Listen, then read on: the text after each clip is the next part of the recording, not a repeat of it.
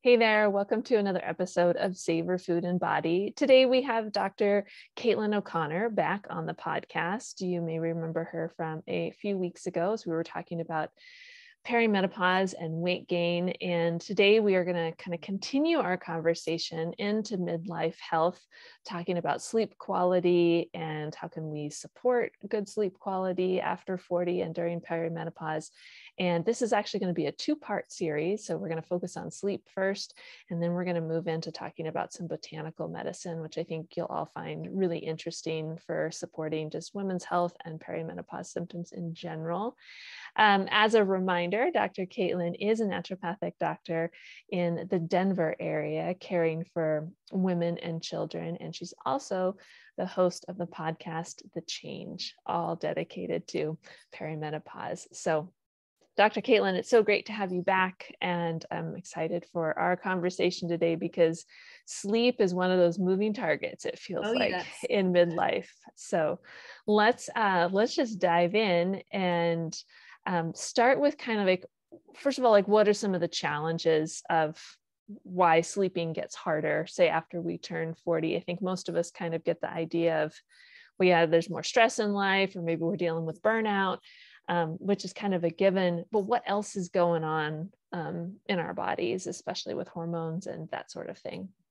Yeah so sleep is such a huge issue and, and it's tricky because this is a time of life where quality of sleep is even more important but sometimes it feels you know cruel as a suggestion for people because they're like yeah i would love to be sleeping more like that's why i'm here um, so when it comes to sort of the sleep piece during perimenopause there's a couple different things going on that can be impacting sort of sleep quality so to review a little bit during perimenopause, one of the first things that we see happening for most folks is a lowering of progesterone levels.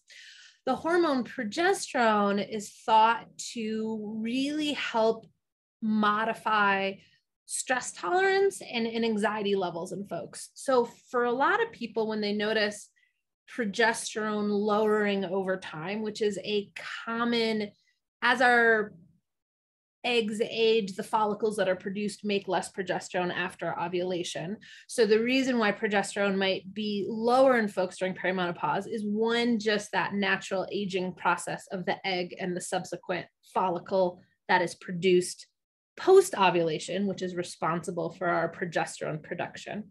Um, and I guess I should take a couple steps back and just remind folks that in a typical ovulatory cycle, progesterone is primarily produced post ovulation by the leftover follicle that housed the egg. So the egg comes out of retirement. We make a follicle filled with fluid that sort of protects the egg. The egg is released during the process of ovulation. And then between ovulation and the menstrual cycle, the sort of hormone that is dominant during that phase is the hormone of progesterone. So as we get older, progesterone produced by that follicle is naturally a little bit lower. Also, we might see in middle to later perimenopause as people are having cycles that are longer, right? A 40 day cycle, a 50 day cycle, a 60 day cycle. That cycle variability is dictated by the time of ovulation. The post ovulatory time is always that 10 to 14 day window dictated by progesterone production. So if you have a 28 day cycle, you might ovulate day 14 and produce progesterone for 14 days prior to menses. If you have a 60 day cycle, you are going to only produce progesterone for that last 10 to 14 days of the cycle. And that whole first portion of the cycle which might be in a 60 day cycle. We'll just do a little math and say you ovulate day 48 or something. Those whole first 48 days, you don't have progesterone during that time period. So we have these lengthening follicular or first components of the cycle that aren't progesterone dominant and these shorter progesterone times, in addition to just making less progesterone overall. So, lower progesterone can result in less st- stress tolerance, increased anxiety, and a decrease in the um, neurotransmitter GABA, which we find calming. So, for a lot of folks, that can be related to a hard time like falling asleep and staying asleep, just being a little too anxious and amped up. So that's one component. The second component is variable estrogen levels. So we've talked about before how during perimenopause and earlier perimenopause, you might have cycles where estrogen's a lot higher, cycles where estrogen is a lot lower. In later to end perimenopause, you might just have consistently lower estrogen. But the area of the brain that regulates circadian rhythm is really dense in estrogen receptors. So that means it is used to a certain level of estrogen. The receptors bind to that estrogen and communicate messages sort of from the hormone system to the circadian rhythm, which dictates like when do we fall asleep, how long do we stay asleep. During perimenopause, when estrogen levels are so variable, the brain's trying to figure out, well, how many receptors do I need to make here? If estrogen levels are higher, they might respond to that by making less receptors so they're not overwhelmed. But then next month, estrogen levels are lower and there's not enough receptors to kind of keep up.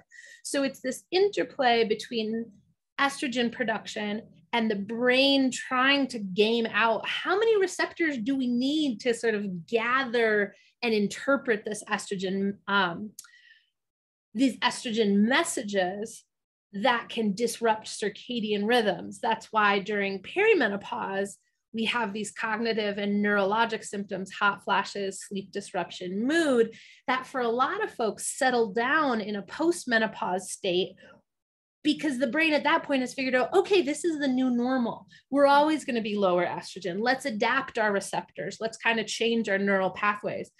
But during perimenopause, the messages are changing, changing, changing all the time. So the brain can't adapt as quickly, theoretically, right? We're still learning a lot about the sort of brain science in perimenopause, but that's kind of like the best current theory.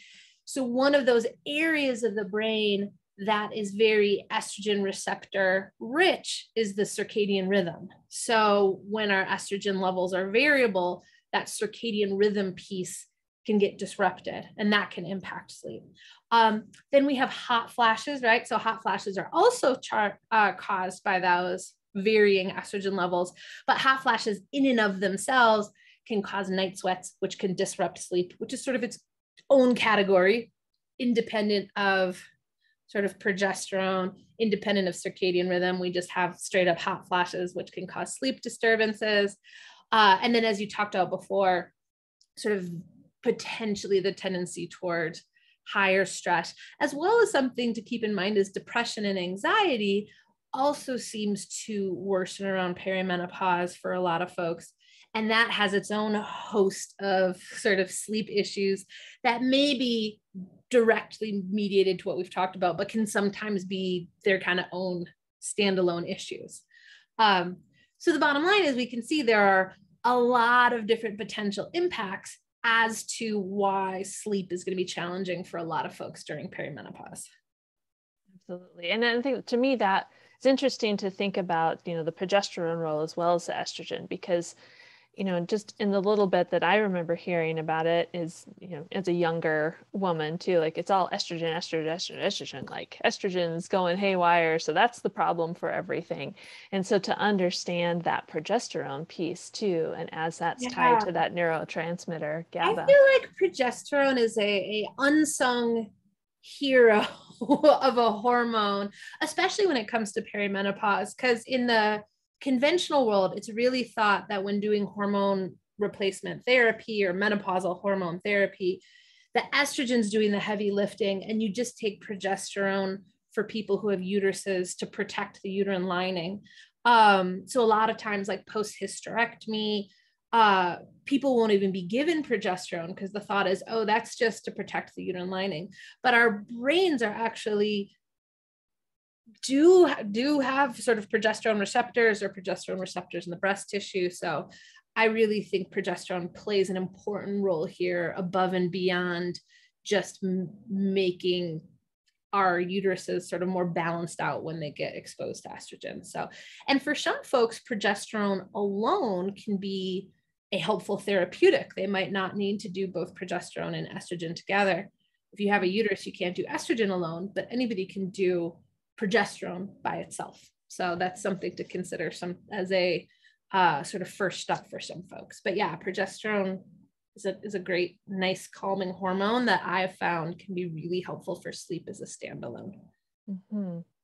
You know, one of the things in our last episode that we kind of were ending on was some like just the neurological aspect of perimenopause and yeah. many neurological symptoms that come up that may or not it might be tied to perimenopause it might be tied to something else but a lot of like unexplained neurological related symptoms with that. And i'm thinking too like when someone is having difficulty sleeping that they might also get some of those other um, neurological symptoms particularly like lightheadedness or dizziness like if they, they just kind of feel out of it because oh, yeah. it might be related to that sleep issue. I don't know if you've seen that in your practice. Absolutely. Same with like brain fog issues with cognition depression and anxiety fatigue it's like in my opinion like everything rolls downstream from sleep. If people aren't sleeping well, a lot of other symptoms are going to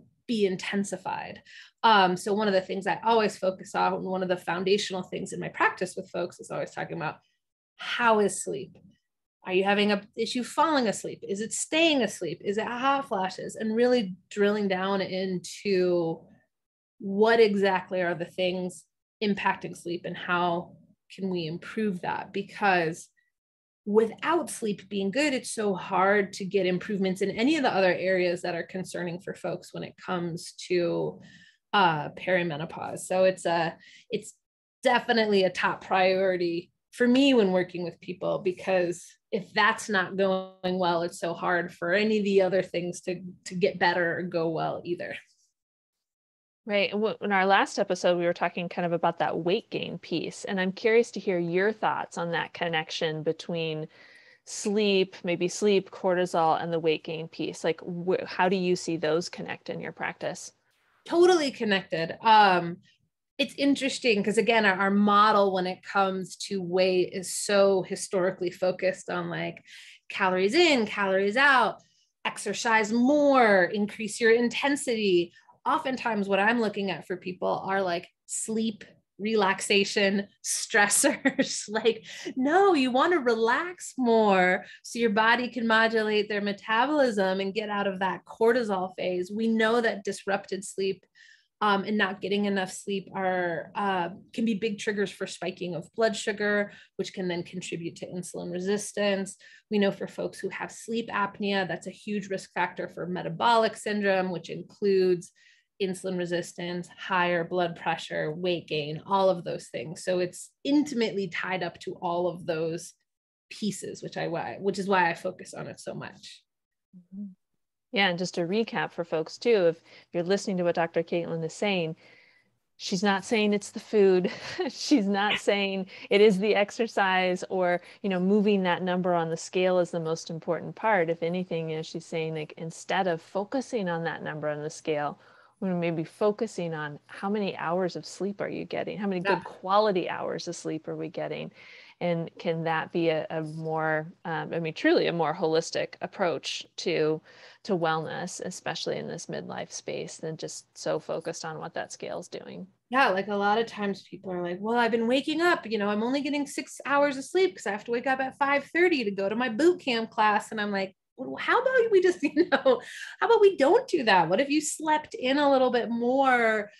Did a more gentle form of exercise in the morning that didn't take up so much time. People often will sacrifice sleep for productivity, for exercise, for so many things. And I'm like, no, it's really the the most important thing that such a such a, a big component of overall health that really that should be the last thing to be sacrificed. We should be prioritizing sleep above almost all else.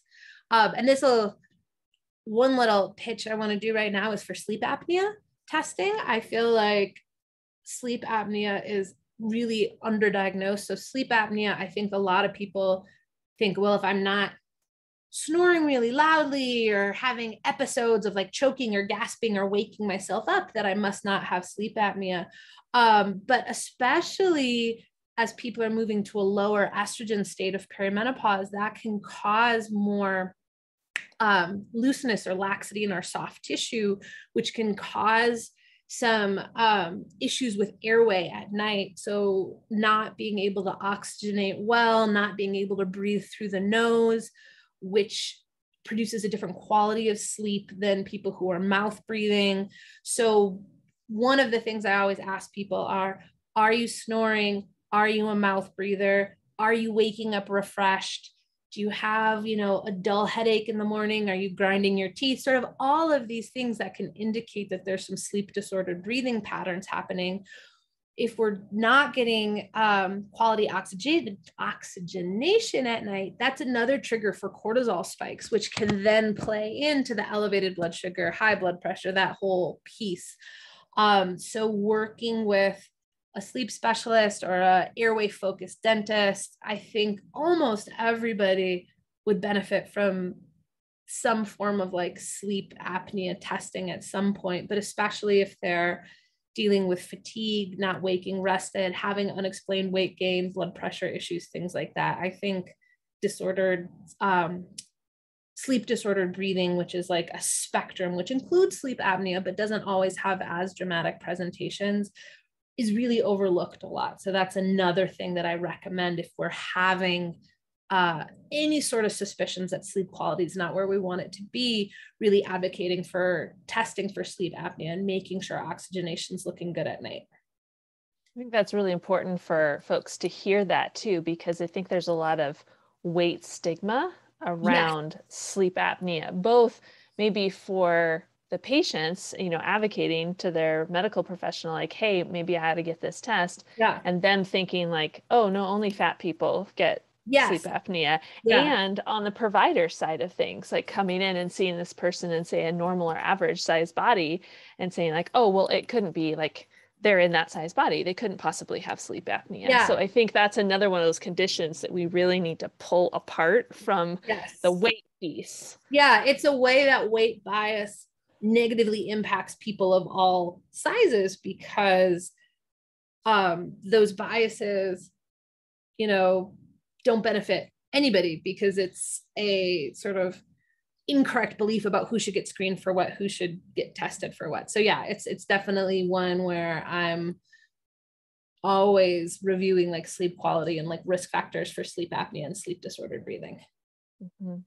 So if you somebody identifies like yep, I'm in this part of perimenopause, or yes, I'm having these symptoms of of sleep and I'm having a hard time, like where do, where do you start in helping them improve their sleep quality?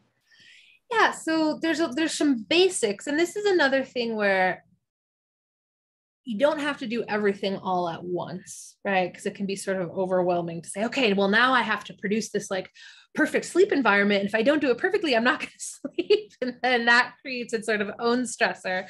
But some of the things that we sort of consider a big consideration, I think of is like, what is our room environment? So I'm a really advocate for people having, you know, a bedroom that is primarily reserved for sleep and intimacy sort of only, especially with like people working from home a lot. A lot of folks are like working from their bed, um, which I want people to work in like a cozy environment, but we want our brain to think, oh, I am in my bed, it's bedtime, not, oh, I do work here, I watch TV here, I, you know, all of these things. So, really making a bedroom, trying to separate our bed from the rest of our sort of daily activities. Um, having a room that's cool, ideal sleeping conditions around 68 degrees, which is a lot chillier than a lot of folks keep their homes. Um, so experimenting with decreasing the temperature a little bit and keeping things really dark. And by total darkness, I mean can't see your hand in front of your face darkness. So for some people, that's getting blackout shades, that's getting duct tape or electrical tape to cover up any, you know, lights and monitors and sensors in their room. An eye mask, I think eye masks can be really helpful for folks who aren't able to get that level of darkness. Uh, and then some of the basic stuff that many folks are familiar with keeping screen time and blue light exposure to a minimum. Um, working to increase activity, but keeping your activity levels, your more strenuous activity, like um, stuff that's going to raise your heart rate, that's going to be more vigorous to sort of before noon, ideally noon or 2 p.m. And then if we're exercising later in the day, walking more restorative yoga, things like that, but not more activity overall, but not doing strenuous activity at night before bed. Um, the food piece is interesting. For some people, they'll be, be do better having a two to three hour before bed of not eating. Uh, for some folks during perimenopause, reflux, heartburn, things like that can contribute to sleep in ways they hadn't before. So having that break before bed can be helpful. For other folks, having a snack before bed can be helpful, especially um, a snack with a little bit of like protein and complex carbohydrate. That's a that's an individual thing. That's why our, there's not like a one size fits all. The other dietary thing I've noted is as people are experiencing more with things like keto and paleo and things like that, low carb diets can definitely disrupt sleep, especially for women that I have observed. So, making sure people are getting enough carbohydrates throughout the day, but especially getting some carbohydrate foods with their evening meal, I found that has been really helpful for sustaining sleep because, especially for folks who wake up in the middle of the night, one trigger for nighttime waking can be low blood sugar or blood sugar crashing, which then triggers a cortisol response. Then people wake up like, oh, I'm ready. I'm ready to be awake. The day has started, but it's like 2 a.m. Um, so the blood sugar balance piece I found can be really helpful as well. And I think for a lot of people that, you know, we hear about the screen time side of things, um, but hearing that the food piece both like might need a snack, might not need a snack, depending on who someone is. But just from what you're saying is that check in with yourself. You might yeah. be on either side of that spectrum, but checking in for yourself versus oh, I'm following this intermittent fasting plan and they're saying like don't eat after 8 p.m or don't yeah. eat after you know five six whatever yeah. i mean especially when i hear some of these folks that their their window of eating even if it's eight hours but they're still stopping eating at like 5 or 6 p.m and then they want to get up the next morning and do a workout or something like there might they might not be eating enough and so to yeah. to understand that piece of if you're waking up in the middle of the night like you're raring to go ready for the day could that also be related to like you just didn't get enough carbohydrate in the middle yeah. of the night and your body saying like hey i need some fuel not yeah. enough carbohydrate not enough fuel i know i see i see that piece a lot and then the other food piece is alcohol. I mean, I don't, I guess alcohol isn't technically it's a food, it's not a food necessarily, but it kind of falls into that same habit where alcohol tends to be pretty disruptive for most people's sleep, but we see that increase during perimenopause. Um, I think for a number of reasons, blood sugar being more sensitive, the sort of neurologic system overall being more sensitive. Um, but one of the biggest things I have people experiment when they're having issues with sleep quality, again, especially waking up in the middle of the night, is cutting out alcohol for two to three weeks in a row and sort of um, charting their sleep quality. Because I think for a lot of folks, they're not registering, oh, that one to two glasses of wine per night with dinner. We, we consider that like a moderate alcohol intake. But if you look at the research, heavy drinking in women is described as seven drinks per week, um, where moderate is zero to four. Um, so people who are having a glass of wine per week on the research side of things, they're falling into that category of like heavy alcohol intake, um, which has a number of potential considerations, but definitely for sleep, it can impact people. Even if they're not feeling tipsy or drunk, it might be changing their neurochemistry, their blood sugar in a way where especially that middle of the night waking can be exacerbated. So that's another experiment that I have people do. Other people makes no difference. Same with caffeine. Some folks can, you know, drink an espresso and fall right to bed because of how their body metabolizes caffeine. Other people might realize, oh, during this phase of my life, I need to cut back on caffeine. Um, even for slow metabolizers, caffeine might not get out of the bloodstream for 10 to 12 hours, which means, you know, anything after 9 or 10 a.m. might be impacting sleep. So there's so many little self sort of reflection experiments that we have folks go to because it's not sort of cookie cutter one size fits all but there are things that might be impacting one person greater than another um, and figuring out okay for me and for this phase of life not forever not how things were 10 years ago but for me right now how are these habits you know serving or not serving me? And let's run a little experiment take some notes see what happens. Mm-hmm. I'm so glad you brought up the caffeine piece because as you were talking about alcohol, I was jotting down notes like, oh, we got to talk about caffeine then too, because it seems like there's the, you know, the have and then the not have. Like there's two very distinct groups yes. when it comes to midlife too. Like you got to be giving up this or trading up for your green tea or whatever. Yeah. And so I'm glad you brought that up. It's variable. I'm je- I am jealous of the people that can drink all the caffeine that they want because I don't fall into that category and I wish that I did because I really love getting high on coffee and like running around and doing things. But I've noticed, especially at this phase of my life, I was never a great metabolizer of caffeine, metabolizer of caffeine, but it's even less so now. And I really had to be like, all right, this is a thing. Chill out a little bit. Um, but yeah, it's not that it's good or bad, right? It's like breaking out of the mold of judging habits of good or bad, or nobody should do this or everybody should do this, but more like, how is this working for me? And how motivated am I by the outcome to make the change, right? Some people might be like, yeah, I drink caffeine. I know it affects my sleep, but I want to do it anyway. That's valid. Everybody gets to make their own choice but that awareness of the connection is the important piece and i talk to that with my patients all the time i'm like just because we make this connection doesn't mean you never can do it again but it means you're entering into that choice from a conscious decision of oh i know the outcome and i'm fine with it i'm you know would rather wake up in the middle of the night a little hot and sweaty because i chose to drink wine tonight than never drink it again. And i'm fine with that choice which is also reasonable but it lets you kind of do your own equation as to is this a worthwhile endeavor? Yes or no yeah connecting dots is so so so important i think in this in this midlife space for anything exercise food yeah. all the things. Um, and so you know if someone comes in they've been working on some of these say lifestyle behavior changes trying to work on the sleep piece and they're like ah i'm still dogging it. I still can't. Yeah. I'm having a hard time. So what are some of your therapeutic interventions that you might pull out?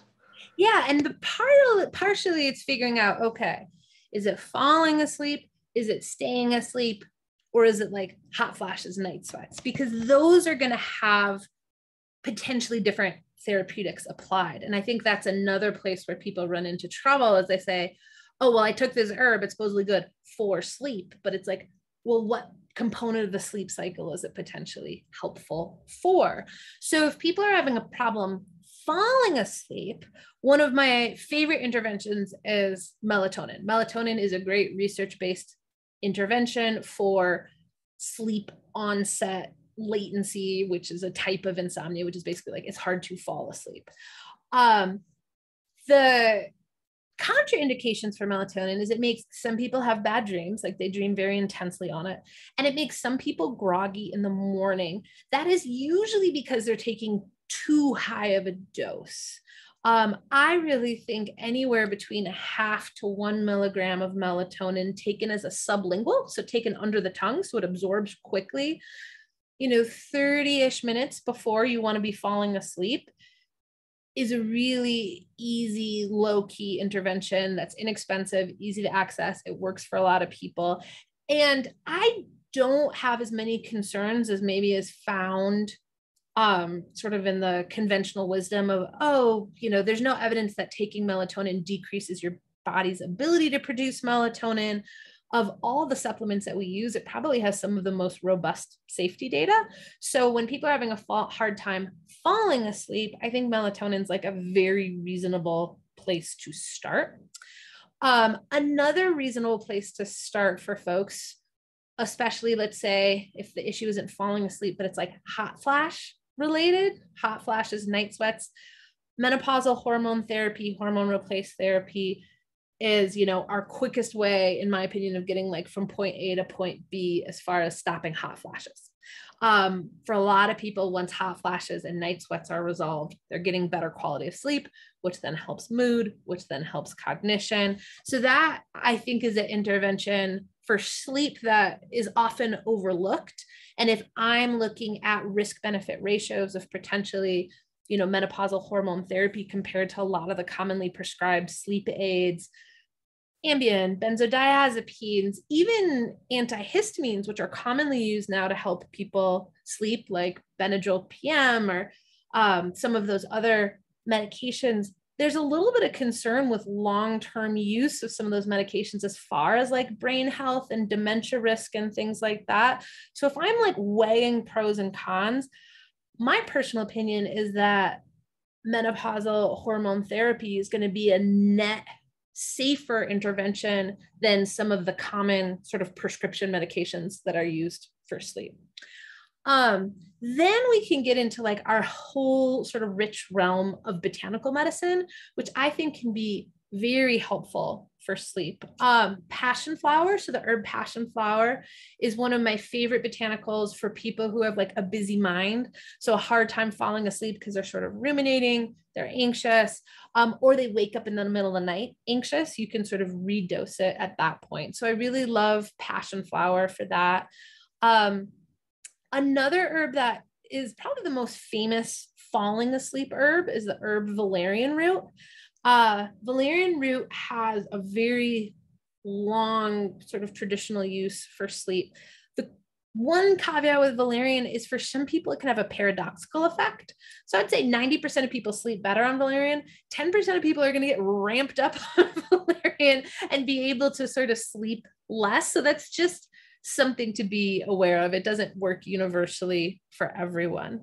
Um, for people who are waking up in the night, there's a sort of different category of herbs. So for people who are having a hard time falling asleep, usually we're looking at botanicals or interventions that are more like calming, relaxing, herbs for anxiety, kind of mildly sedating herbs, etc.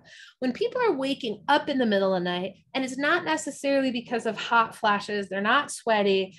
Um, and the most common time we see this is around like 2, 2 a.m., 1 to 2 a.m people wake up and they can't fall back asleep. Um, that is often a sort of stress adrenal picture where ideally at night melatonin is predominant and cortisol levels are low and cortisol levels stay low till around like six seven in the morning depending on the time of year. Ideally the sun goes up your cortisol level goes up it wakes you up. Oftentimes those middle of the night wakings that are just accompanied by that feeling of like i am now awake. It should be daytime but it's two in the morning and i can't go back to sleep. That is often more associated with like a cortisol dysregulation again long-term stressors blood sugar issues can play a role. But when it comes to picking botanicals that help with staying asleep um, magnolia bark which is a Chinese herb originally, magnolia bark seems to work really well at buffering those middle of the night sort of cortisol spikes. So that's where I'm talking about. You know, sometimes when people say, Oh, I have insomnia, I took melatonin, it didn't help. And I'm like, Well, what's your problem? I have no problem falling asleep, but I wake up at two in the morning. And it's like, Oh, okay. Melatonin is not going to help you with that potentially. Um, people have a problem staying as falling asleep, but once they fall asleep, they can stay asleep all night. Okay, we look at sort of some different things. So it's understanding that pattern piece. The other botanical um, that can be helpful for some people, especially with staying asleep, is um, CBD. So not necessarily cannabis derived CBD, which has THC in it, which for some people makes them sleepy, for some people makes them a little anxious. So that's one that can be sort of hard to modulate. But hemp derived CBD or cannabis derived CBD can be really helpful at staying asleep, but the dose is really critical. Most people aren't going to respond. The, the, the common dose is between 25 to 50 milligrams of CBD. And a lot of these like nighttime gummies, they've got like five milligrams or 10 milligrams. It can be expensive to get up to a therapeutic dose with CBD, which is often what I tell people. It's, you know, a pretty popular botanical right now. People want to try CBD. Um, and I think it can be helpful, but usually I say, hey, let's start with some of our like more inaccessible, our more inexpensive, easily accessible herbs and potentially save CBD for later, mostly because the cost to get up to an effective dose is, is, is higher than it's going to be for some of these other botanicals. Mm-hmm. Well, you mentioned at the kind of start of the call, we, you mentioned GABA, and uh, the other one that I've I'm familiar with is 5-HTP, 5-hydroxytryptophan. Yeah. So from like the supplement side of things, what are your thoughts on like if someone is supplementing with GABA or supplementing with 5-HTP? Yeah, so GABA can be helpful in sort of promoting that anti-anxiety, calming bedtime. The other botanical, the other neurotransmitter supplement that sort of pairs really well with that is L-theanine. So the nutrient L-theanine, often you'll see in sleep formulas when there's sort of an anxiety component there. And those are both very nice and very gentle. 5-HTP helps in the production of serotonin, which at some point for some people there's a sort of pathway that goes like 5-htp tryptophan serotonin melatonin as mm. far as the production of brain chemicals. So taking 5-htp at night for some folks will stimulate sort of melatonin production. I think of 5-htp as being more helpful when there's like a mood component to their sleep that you know sleeplessness is associated specifically with depression for them. Because we think about the supplement 5-HTP or the botanical St. John's wort as two ways to support serotonin production. And that can be very helpful. There's actually a small study done on St. John's wort and women in perimenopause showing that it helped with insomnia and mood. So that's definitely one I'll pull out um, when depression is sort of more playing a role. The biggest caveat with both 5-HTP and St. John's wort is they're not to be used in combination with any SSRI medication, so like Lexapro, Zoloft, because those are working on the serotonin pathways already. So we don't want to overwhelm folks with too much serotonin because there is too much of a good thing and there can be some significant complications with serotonin syndrome. So those are my biggest caveats anytime we're directly stimulating that serotonin pathway is that something we want to make sure that there's no medication interactions for. Such a good point. Yeah so if this kind of like, as we're wrapping up our sleep discussion and i love that we're ending with like the therapeutic benefits and particularly exploring those botanicals. And so, if folks are interested to learn more about that botanical piece, I want to invite listeners to listen to our part two with Dr. Caitlin, as we're going to dive even a little bit more into those botanicals, like what does research say, what is history say? What does uh, uh, what can other botanicals can be helpful not just for sleep, but also maybe for regular perimenopause experiences? So definitely um, stay tuned for our part two of this conversation, where we're going to dive into those uh, botanicals a little bit more.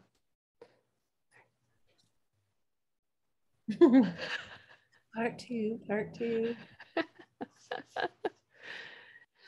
All right, welcome back. For those of you that listened to part one of my conversation with Dr. Caitlin, we were talking all about sleep, and we kind of ended the conversation on sleep and therapeutic uh, remedies for that, both from a supplement standpoint as well as a botanical standpoint. And today we're going to dive a little bit more into that botanical side of things too. So, um, Dr. Caitlin, where would you like us to like start with our ground ground floor knowledge yes. of like what's cool with botanicals? What are we watching out for? In part of our last conversation, you were talking about like um, with serotonin and medications and how there we need to watch out for maybe some overlap between botanicals and medications. So how do we like know where to even start with botanical right, medicine? Yeah, and I, I think a good place to start is like with the definition because what I've noticed is out there, you know, in the world, there's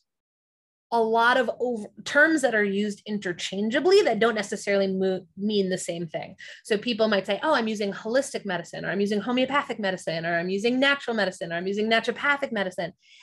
And they can be talking about very different modalities and very different things. So botanical medicine is a modality specifically of using plants and using plants how it differentiates from homeopathy is using homeopathy can use any sort of materials but in like minuscule, non biochemically active forms. So when we're talking about bio, botanical medicine, we're talking about using whole, like but biochemically active doses of plants. And specifically, you know, that that gets a little tricky because you're like, well, what about, you know, when I'm eating pesto, basil is an herb and I'm eating it. And I'm like, yes, that is a component of botanical or herbal medicine. You can access plants as foods that's one way to use herbal medicine. That's one way that i think is a very like safe and accessible way. You can use turmeric as a spice that is using botanical medicine.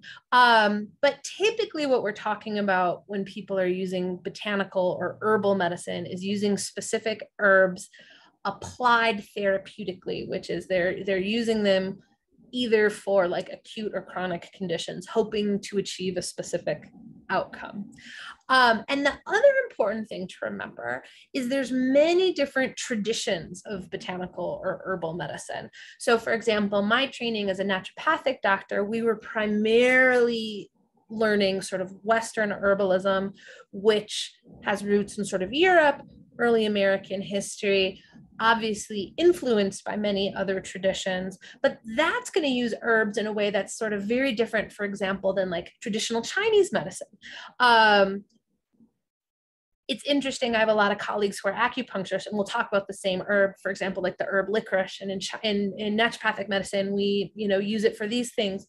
In Chinese medicine, it's applied completely differently to like totally different conditions. So it's important to not necessarily that the uh, you know the person who's starting to use botanical medicine for themselves you know knows the difference between all of the traditions but understands that botanicals are going to be used differently by different practitioners um, and that different traditions might use the same herb in different ways. Or there might be herbs people will bring me their botanicals that their um, chinese medicine provider has given them and i'm like they're like what do you think about these i'm like I don't know. like I wasn't trained in that medicine. I love Chinese medicine. I'm like, I trust these formulas. They've been used for thousands of years, but not everybody's going to be trained in every form of botanical medicine. And the way the herbs are prescribed, the types of formulas that are used are going to be variable from tradition to tradition. Um, for example, in Chinese medicine, they almost always pre- uh, prescribe formulas that have multiple herbs in them. Some Chinese formulas have like 20 to 30 botanicals in one formula. In Western medicine, Western botanical medicine, a lot of times we might prescribe single herbs or herbs that are um, have maybe like three to five ingredients. So that's sort of one big difference. Are we using one herb at once? Some traditions very much promote, you know, simples, which is just the use of one herb? Are you using a formula? And then is that formula like customized to you? Or is it a formula that has, you know, been passed down and is kind of always the same thing? So we talk about herbal medicine as this sort of broad umbrella, but within it, there's so many different ways to apply it, which is great because it gives us so many options. But it also means there's a lot of thought to go into. Like sometimes people say, well, I tried herbal medicine, I tried botanicals, they didn't work. And I'm like, really? You tried every single herb in the, you know, all of these herbs are different. So it might be, oh, I worked, you know, I went to the store and I picked out one botanical. It didn't work for me. Maybe I should consult with a Chinese medicine provider. Maybe Ayurvedic botanical medicine might be sort of a better fit for me. So there's so many different traditions under botanical medicine that it offers almost like unlimitless potential as far as what you can do and how you can sort of apply it to yourself.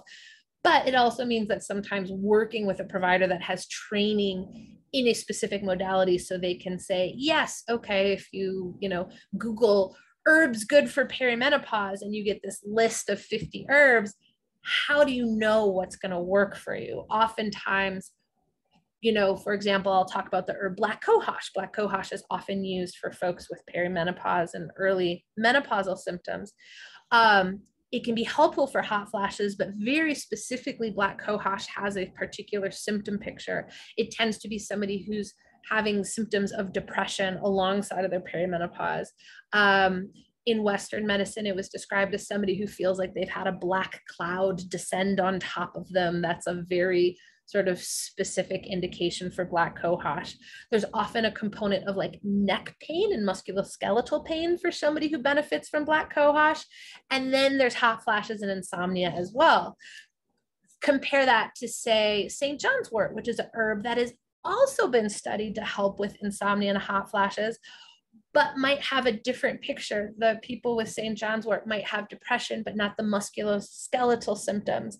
They might be um, sad, but not necessarily like fatigued. So once you get to know the botanicals a little bit more, it helps you figure out who do I think is going to respond sort of best to this intervention versus, oh, I just went and picked this off the shelf and it says it's, you know, for sleep. So, and I think that explains why for some folks they have a hard time finding botanical medicine that works for them. It might not be the right picture, but also why when we try to study botanical medicine in the Western research model, so a lot of times the gold standard for you know medicines in contemporary you know western medicine is the randomized control trial which is you've got one group of people that gets intervention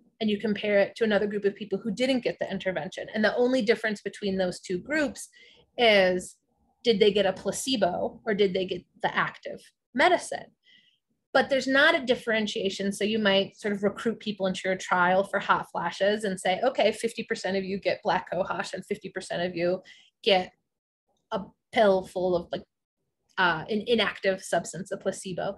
And then you judge, hey, how did that botanical medicine work based on how many people in that group that received the medicine like responded to the intervention but that's not how botanical medicine was practiced historically you wouldn't say every single person who has this complaint that comes into my office gets this one intervention. You would talk to them, you'd say, Oh, how did it start? What are your other symptoms? What's your constitution? Do you tend to be hot? Do you tend to be cold? Do you tend to do the this or that? And then you personalize the intervention based on that picture. It's really hard to add that level of personalization to research so, what that often looks like is we see herbs that we know have a great traditional efficacy, not always perform as well as we would expect when they're they're studied in that randomized controlled trial which doesn't mean they necessarily don't work or you shouldn't try them unless there's like a safety or interaction issue. It just means that when we look at this model that is very individualized and based on matching the picture to the person that that doesn't necessarily translate to the way we practice medicine now which is much more protocol or algorithm. You know this symptom is x symptom is treated by like y intervention and it's a little bit more like mechanistic versus individualized. So i think understanding that can help us under people realize why it can sometimes be hard to get the efficacy we would expect in randomized controlled trials. Even though a lot of botanicals do show up really well there, sometimes it's not as robust as we would expect or hope. Um, and that can sometimes lead folks to sort of be dismissive and say, oh, well, there's not research or, oh, it doesn't show that that's, you know, effective.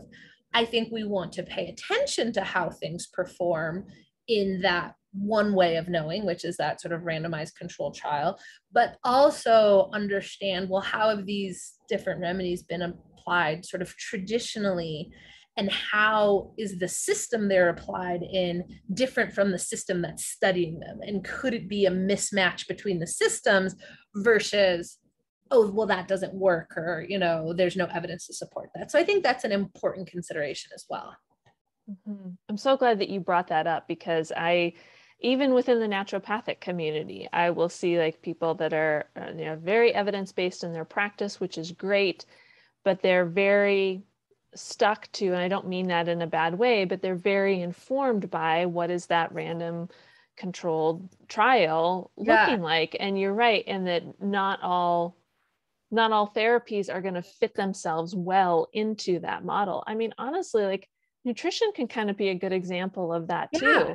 Unless we're like isolating this one component out of blueberries to study. Yeah. Um, and unless we're controlling for someone's age and economic status and education and like all these other things, it can be hard to like land on what did that research result say and then take that as like this is going to work for everybody so yeah. you know I, I, bring that example up to kind of because i think people will identify with that because they've probably read something on some food thing you know on google or in some magazine somewhere and they've gone and tried it and they're like ah it doesn't really land with me yeah. and so to have that as the same parallel with botanical medicine too and for when they hear like oh well that's not well researched or that doesn't have enough evidence base behind it to understand well why is that yes. and i love your explanation of that botanical medicine is so individualized in terms yes. of when it, when and how it's applied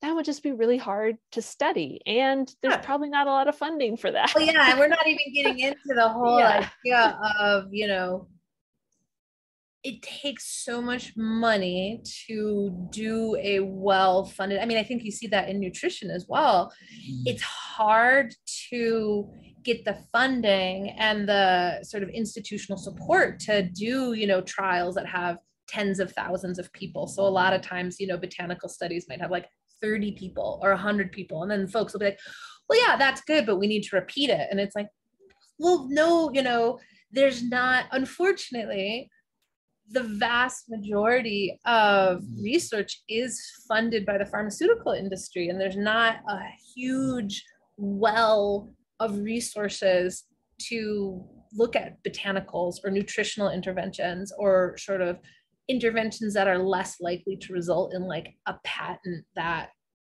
makes money. It's just not you know not how the system is set up. So yeah even if you did have the unlimited funds to create these studies, it's hard because humans are not machines. There are social factors, there's economic factors, there's genetic factors. We're so complex that it can be difficult to narrow that down, which is why you need studies with, you know, thousands to tens of thousands to hundred thousands of people to start to like see those big trends but actually getting that data is so hard. So I think understanding, oh, there's some stuff that is so interesting and so mm-hmm. helpful to glean from that research.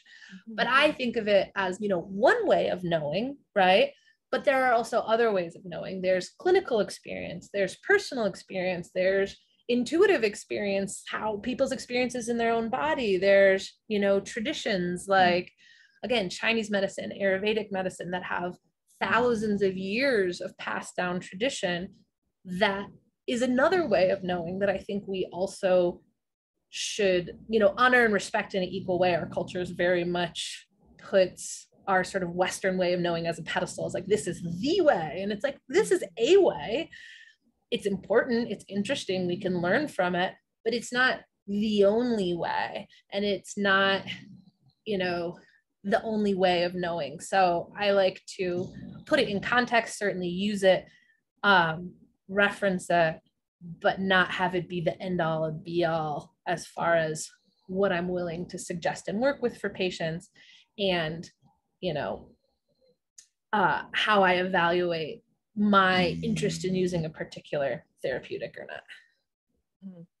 I think the other piece too with botanicals that, and I have just a very small knowledge of it, more from the culinary herb side of things, yeah. but is, uh, and we were, you know, it'd be great to dive into this, is there's the different pieces of the plant and there are different efficacies or one part of the yeah. plant might be used for this or one part of the plant might be used for that. And so for if people are going out to like look at their natural food store at supplements eh, or at or botanicals and they're curious or they're even having a conversation with their provider too like tell us a little bit more about that difference between like the forms the type are we rooting yes. are we leafing like what are we doing other that's the other part that really gets me at research sometimes is you can tell that they didn't consult with a botanist or an herbalist and they're using the wrong part of a plant or the wrong species of a plant or the wrong dose. And you're like, yeah, of course that wouldn't work. That would be like saying, oh, I took, we did a study and we gave somebody one twelfth of an aspirin and it didn't help their headache. Aspirin doesn't work. And you're like, well, yeah, dose matters, form matters. Um, and I think when it comes to botanicals, that's one of the reasons why I'm very particular about brands and sources when it comes to botanical medicine. Um, when it comes to some some things like where do you get your magnesium from? You know, as long as it's the source we're looking for, I don't really care. Where are you getting your, you know, B12 from? You know, as long as it's the form that I want, you can get it from any, you know, you can get it from Amazon, you can get it from the grocery store, you can get it wherever. When it comes to botanicals, I really refer people to specific brands. For example, I like the brand Gaia Herbs. Um, if they're sourcing like whole herbs and teas for themselves, I like Mountain Rose Herbs or Frontier because a lot of companies are not, if they're not run by botanists and herbalists, they're just going to be sourcing random herbs from who knows where and putting them into capsules. Whereas some botanicals you want to be water extracted to get their effectiveness. Others should be in alcohol. Others, for example, like medicinal mushrooms, when people are taking medicinal mushrooms, the majority of medicinal mushrooms are going to do better in like a specific hot water extract and then encapsulated versus like a raw powder. So when it comes to botanicals, using the right species matters, using the right form matters, using the right extraction matters. And we don't expect like, I mean, it's complicated for me, and I've been, you know, studying this for 15 years. I don't expect the person walking in the street saying, like, oh, you know, I think I'd like to try, you know, botanical medicine for this symptom to be able to have that knowledge to differentiate, which is why we want to rely on using a brand that is trustworthy. Herb Pharm, which is spelled with a P, I think, Herb, H E R B PHA like pharmacy. Herb Pharm is another one that's like commonly um, found at like a grocery store or a health food store, but it's run by botanists. They've been in practice for a long time. So, what I have what I recommend for folks who are interested in engaging in botanical medicine, maybe their interest level hasn't gotten to the point where they want to work directly sort of with an herbalist, although a lot of communities will have like a botanical, like apothecary or medicinal store that has like bulk herbs and things like that in their sort of town or neighborhood, in which case you know walking in and just chatting with the people who work there can be helpful. Um, but working with a brand that is run by you know botanists and herbalists can be helpful because then you can assume okay they're using a proper dosage they're using a form that's appropriate and they're testing their botanicals for contaminants. They're either growing them locally or you know sourcing them um, internationally from folks who are looking for contam- uh, looking for contaminants because that is a very real concern for remedies that are imported from other countries is there has been cases of like lead poisoning and other types of uh, contaminants coming in from those botanicals. So working with a botanical company that's screening for some of those things is really important. It's one of those things where i'm like you know don't buy the random product on amazon you know i love well i'm not going to say i love it i have a complex relationship with amazon and you know amazon prime delivery this is an area where i'm like yeah, you don't want to just buy the random product off the internet or even off of Instagram, you know, some of the, or, you know, some of the other social media where they're target marketing you necessarily. Um, really kind of taking an extra step to look at the quality piece, to look at what testing the company's doing, who are they working with? Because botanical medicine that's going to make a huge difference. If it's effective if it's safe it's going to be how is it produced? Where is it produced? What are the dosages in there? Um, so working with one of those quality companies i think makes a big difference. And then if you're on you know when it comes to the safety piece botanical medicine i think is inherently mostly especially what people are going to be able to access on their own um, going to be a really safe intervention. What we want to make sure is if people are on any prescription or over the counter medications, that they've chatted with their pharmacist. Um, I think pharmacists are the best folks to chat to about drug herb interactions if you don't have a practitioner who is um, comfortable with that. I feel like a lot of folks, if they're not comfortable, are just like, I don't know, you shouldn't take it. Maybe there's an interaction. Versus, I found a lot of pharmacists will actually look into the data and let you know either, hey, there's no information, which is often the case, but there doesn't seem to be any risk based on, you know, how we know this drug works and how this botanical works. So we want to make sure one, there's no interactions, and two, we're applying the right intervention at the right time. I think one of the concerns people have with botanical medicines, especially folks who are more conventionally trained, is that people are going to forego a safe conventional treatment that could be very beneficial for potentially an alternative treatment that is going to end up being dangerous because they didn't do the initial treatment, right? So, for example, if somebody um, has a significant diagnosis, say like a cancer diagnosis, and it's like, oh, there is, it's, you know, one of the cancers that maybe has a clear therapeutic path with chemotherapy and a fairly good, you know, success rate in treatment, and people are foregoing that path for potentially an unproven botanical path. Certainly, everybody gets to like be the boss of their own healthcare.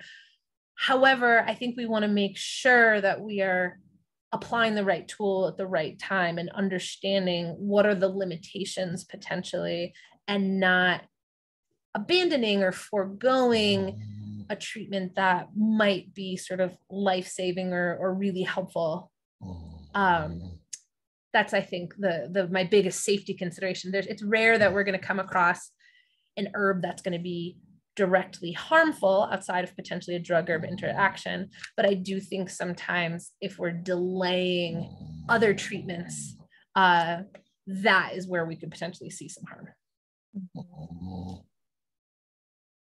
Are you ha- is there anybody in your background that's snoring I, my dog just came.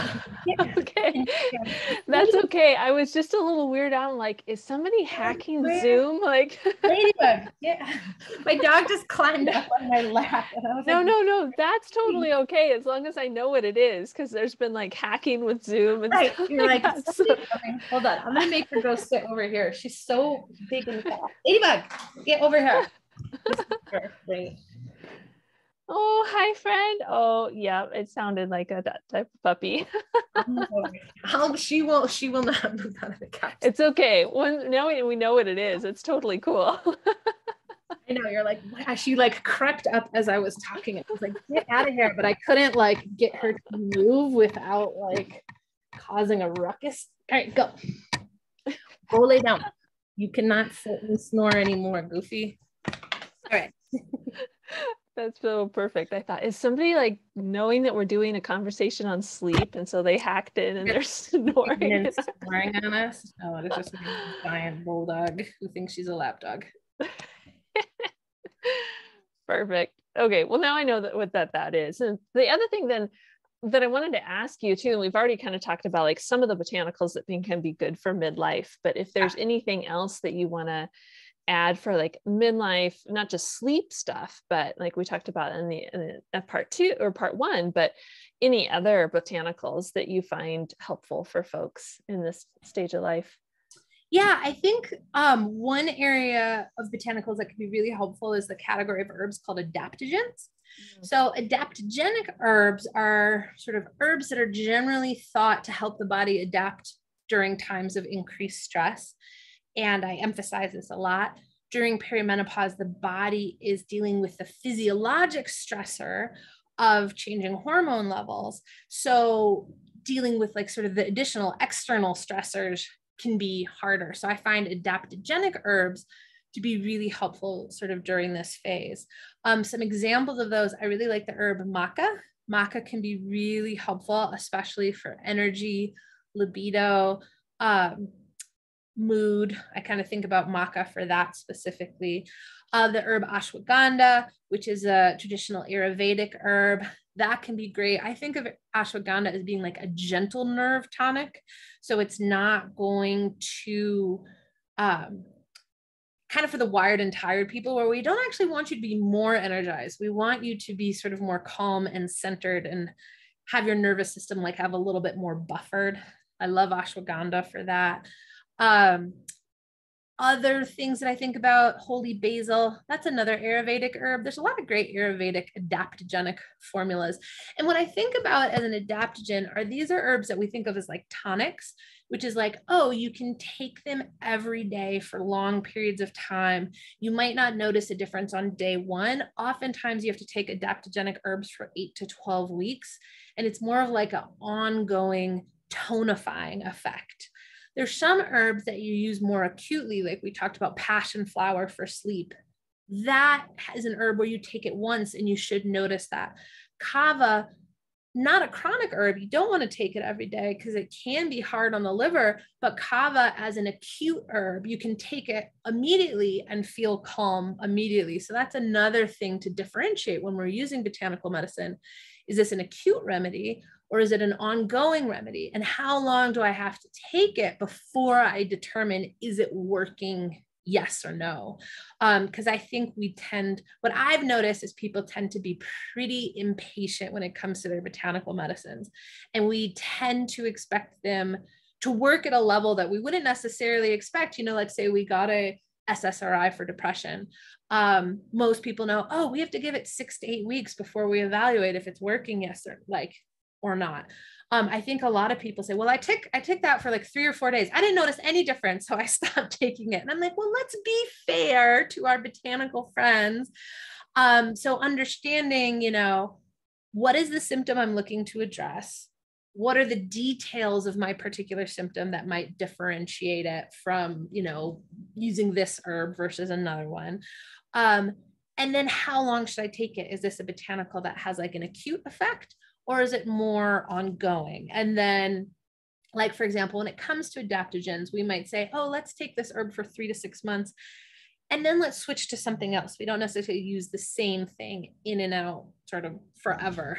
Um, cordyceps, which is actually a mushroom, not technically an herb, but still a botanical medicine.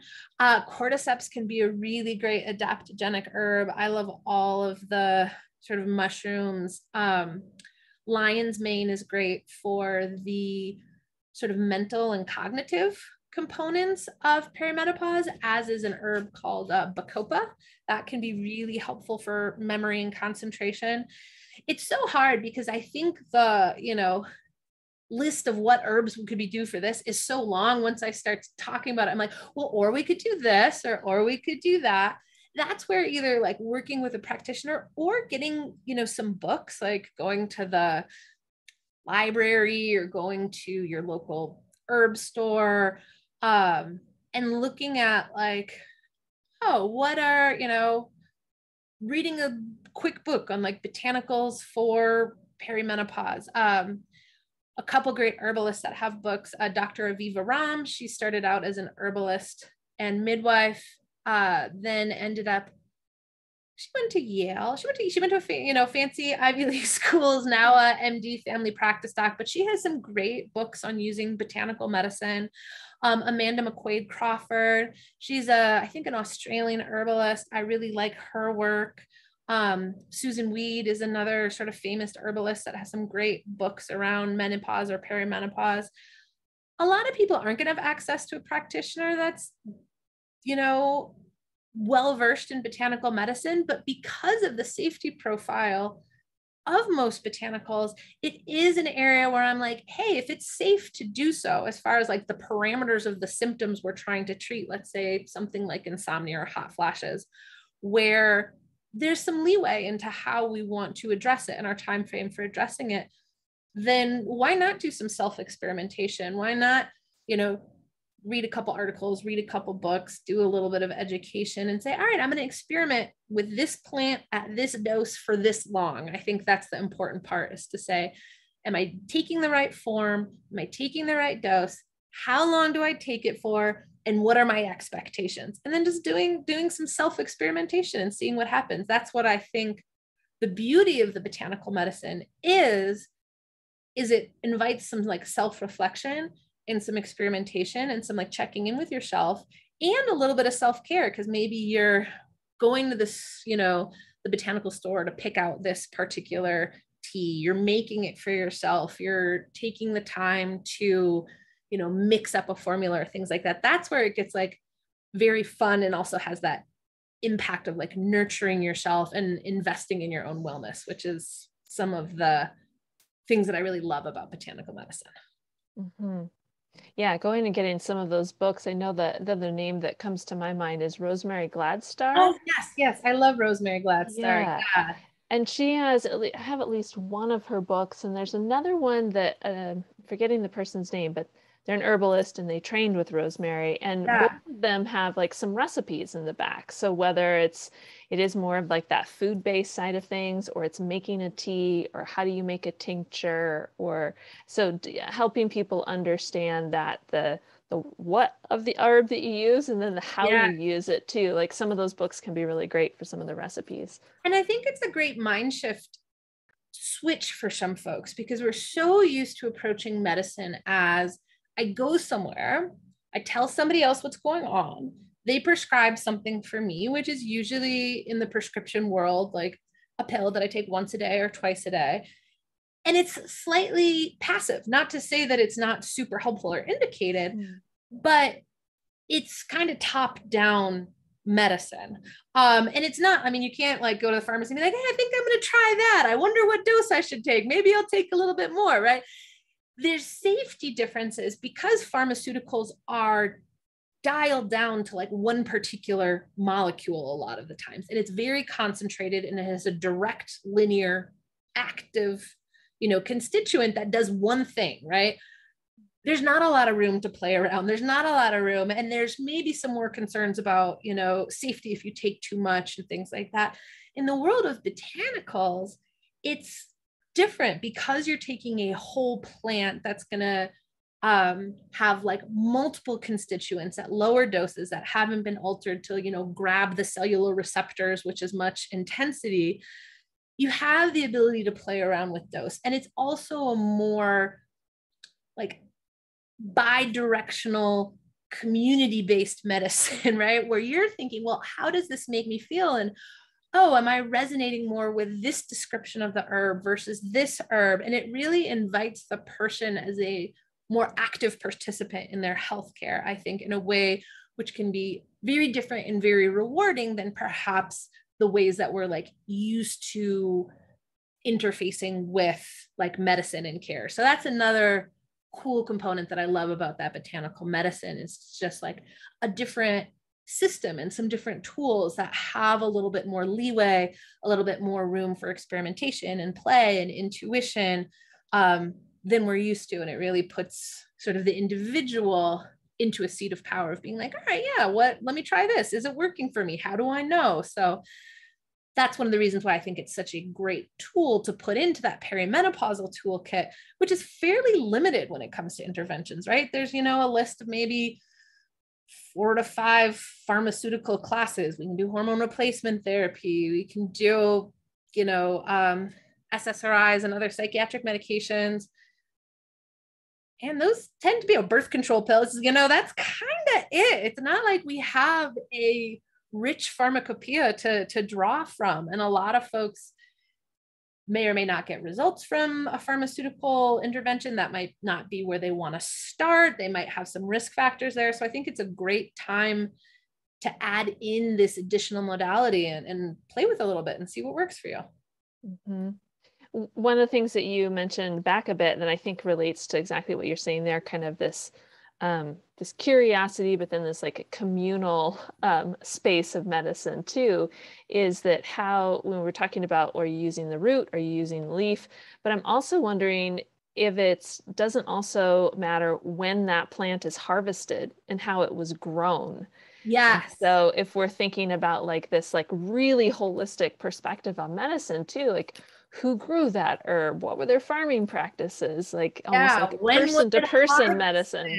Yeah. Yeah. So really get, you know, get to know your local botanist and herbalist, go to the farmer's market. I mean, it's a really way to kind of, for people who are interested, to kind of get in touch with those cycles. Absolutely. Yeah. Well, this has been a really great, like, two season, two episode show too. I mean, there's yeah. so much information packed into these. Is there anything like any parting words that you want to leave um, women with, especially around the the botanicals of like, this is I would try this or like yeah. do your research here or I think you know my one of my biggest take home messages around perimenopause is that people don't have to suffer and even though it might not be fun all the time like we don't want to get into that like positivity spin of like you have to embrace everything and it's always great but that you should look for solutions that work for you and if the solutions you are being presented with haven't worked for you thus far, like keep looking. And that might look like making relationships with different providers, but it might look like inviting some experimentation on your own and some sort of research and educational experiences on your own and figuring out what works for you. So that would be sort of my take home message, which is just finding the solutions that work for you. And in my experience, botanical medicine is a lovely solution for a lot of the things that come along with perimenopause. And it's not an either or proposition. You can do the prescription medications and the herbs most of the time. You just got to double check for safety. But I think that's the other sort of black and white people, like black and white thinking people have around holistic medicine is either you do that or you do conventional but there's no in between and i'm like do both like pick pick and choose every tool that works for you and like put together your own personalized plan that gets you along your own personal spectrum of wellness to where you're sort of satisfied and want to be. Yeah, I think that's really, really well said. And stay curious and stay reflective on how your experience is going and yeah um, and know that like as someone goes through the whole journey of perimenopause which can be sometimes up to 10 years like there's going to be a years. lot of changes that yes. happen during that so be open to ebbing and flowing yeah. with these changes that come up and what the, the tools that you used in early perimenopause they may not be the same tools totally. that you're yeah. going to need in later perimenopause what works now might not work two years from now or five years from now or six months from now and being like oh yeah that was working. Now I need something different. And then having that sort of flexibility to change when you need to. Absolutely. Well, we will definitely put links to your podcast because I know you've got a lot of great conversations there. And for people that want to continue diving into these similar conversations that you and I've had um, a couple of. And would you like to send anybody anywhere else on to learn more about your work or things that you offer for for folks? Yeah, I mean, folks can check out my website, which is just drcaitlin.com. I have some sort of blogs and information there. And then if they want to sign up for my sporadic occasional newsletter, you know, on a quarterly ish basis, that's uh, probably a good way to kind of keep in touch with me as well.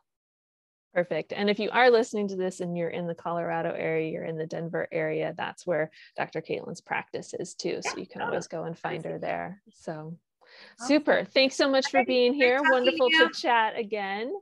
And we'll hopefully talk again soon. Awesome. Bye.